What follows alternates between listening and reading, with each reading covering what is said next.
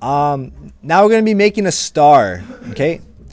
If you notice on the bottom right, we're going to be making these little flowers here.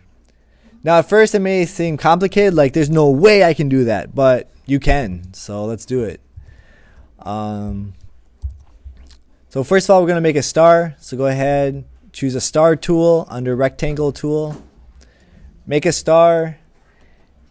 And for this star, for the color, we're to choose on the top right, it's called flower gradient. Go ahead and choose flower gradient.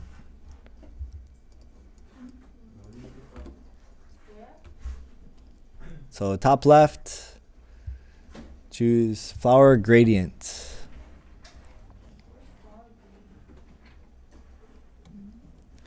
Okay, now we're gonna distort our star. So we're gonna go to filter, distort, and twist.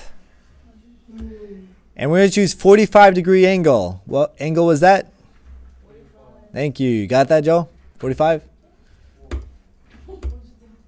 So now it twists. And we got 45 degree angle. Uh, now we're going to go to window and choose attributes.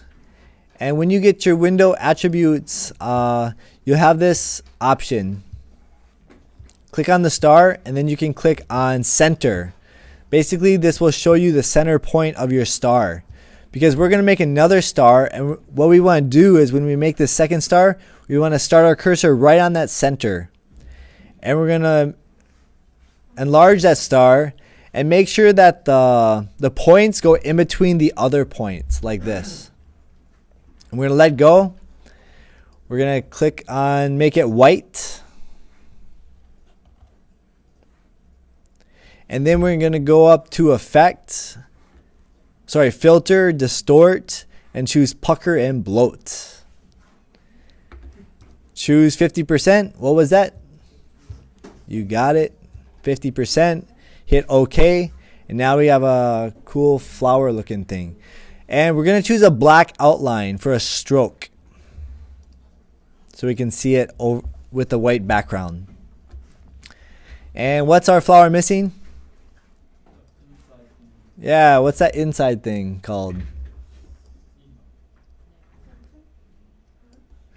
Um, we're to make Let's see. We're to go ahead and make that yellow or orange. So go ahead and choose yellow or orange for that. Uh, we are not to have it as a stroke. So no stroke. Okay. Now what we want to do is we want to shear our middle flower thing. So what we're going to do is hit uh, window transform and you'll have a transform uh, box like this. And we're gonna shear it on the right here. So we're gonna shear it at 10 degrees. And you'll notice that it kind of like tilts or makes it um, like that all right you guys got it draw a box around it hit command G to group it and now we're going to make copies of it Remember, if you hold if you uh, hold on the Option key and click, it'll duplicate it. So we're gonna make a cluster of three. So we're gonna go one, two, and three. Okay. Uh, to shear, you go to Window, Transform, and then choose Shear. It looks like that. So we're going to draw a box around it, hit Command G to group those. We're going to zoom out, Option tilt it. We're going to put it in the bottom right hand corner, and we are done with that part. Okay, so there's our letterhead. We just made some letterhead. 10 degrees. okay, next, file, open. We're to use our envelope. So choose your envelope, maximize the space zoom in, and let's make it. We're to go ahead and grab our logo that we made from our previous letterhead. And we're to go to our envelope and paste that right in that box on the left side. Okay.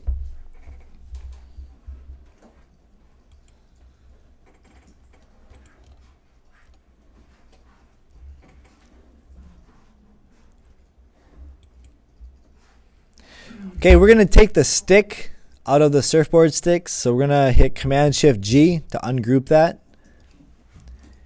Hit Command Shift G again to ungroup that. Command Shift G to ungroup that. And now we got stick. Okay, we're going to scale it. Remember S to scale, double click. And for the scale, we're going to choose 500. What number was that? Yeah, there you go. So we got stick, that's 500 on the scale.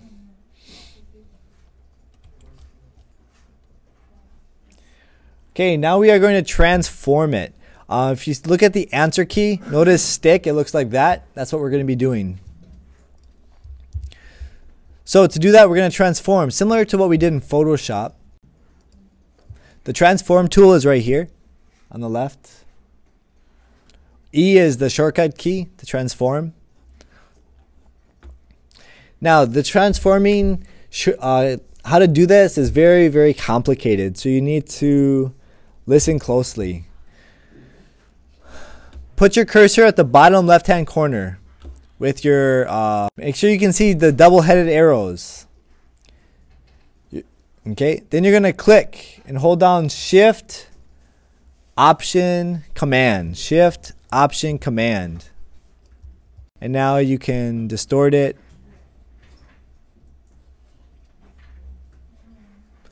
Uh, this is the way we want it to be like this.